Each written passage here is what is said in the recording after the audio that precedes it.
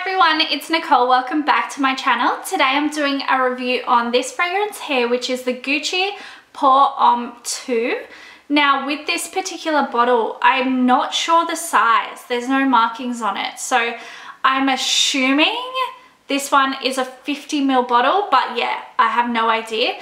And also now I'm assuming that this one may be discontinued because I can't find any like real pricing information. I saw a 100 ml bottle advertised for $299 so maybe half that maybe this is around like 150-ish but yeah just not too sure. So bottle wise I do like it. I think it's quite cute. Um, very simple but yeah it tells you exactly what it is which I always appreciate because I don't really have lids so sometimes it's hard to know what things are as well. Um, but yeah, getting into the notes. So this one, the top notes are violet leaf and bergamot. Middle notes are black tea, cinnamon and pimento.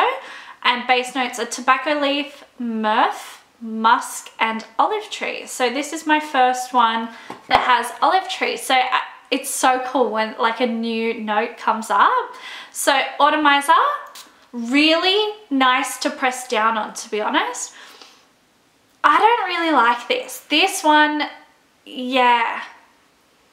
This, I never wear. It's just like something in it almost makes me feel a little bit like sick. Um, yeah, to me, the mix is just, I don't like it. I don't like it at all. This is not something I would recommend. Yeah, I think this is the one, if my husband wears it, I'm like, what is that? Like, don't wear that. So for me personally, I would, yeah, as I said, would not recommend this. Let me know your thoughts on this. If you have this, like, even the dry down, it just, for me, it doesn't work.